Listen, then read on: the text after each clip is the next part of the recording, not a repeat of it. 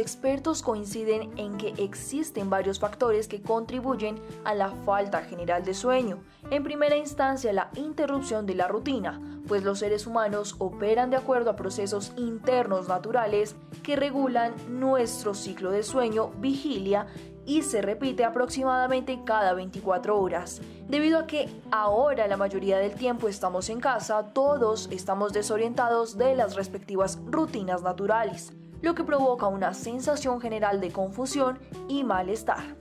Chandra Jackson, investigadora de Earl Statman en el Instituto Nacional de Ciencias de la Salud Ambiental, mencionó que sin las señales típicas del tiempo social como vestirse para el trabajo o dejar a los niños en la escuela a una hora estándar determinada, nuestros cerebros son menos conscientes de cuándo prepararse para dormir. Quedarnos en casa, lo que reduce nuestra exposición a la luz natural, también elimina estos ritmos circadianos y horarios de sueño.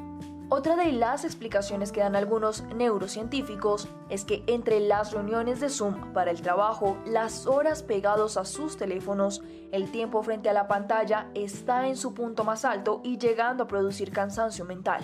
además de factores como la ansiedad por el empleo, preocupaciones por el dinero y el temor de contraer COVID-19, son los principales motivos de incremento de insomnio durante la pandemia. Por ello, para contrarrestar este problema, los expertos recomiendan una buena alimentación, establecer una rutina, salir a la hora diaria permitida para realizar deporte y establecer un horario de los dispositivos móviles.